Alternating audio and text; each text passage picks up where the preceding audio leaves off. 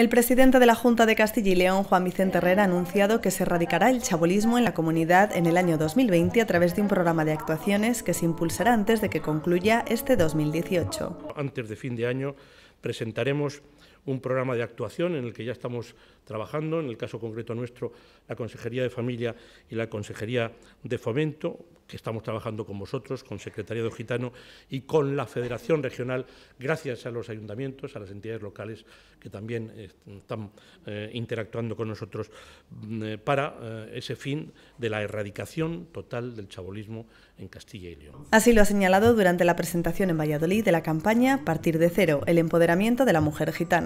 una iniciativa de la Fundación Secretariado Gitano que busca acabar con la desigualdad y la discriminación y a la que se ha sumado la Junta de Castilla y León. Castilla y León quiere ser la comunidad en la que personas como vosotras puedan vivir libres de estereotipos, puedan disfrutar de plena igualdad de oportunidades, no encontrarse nunca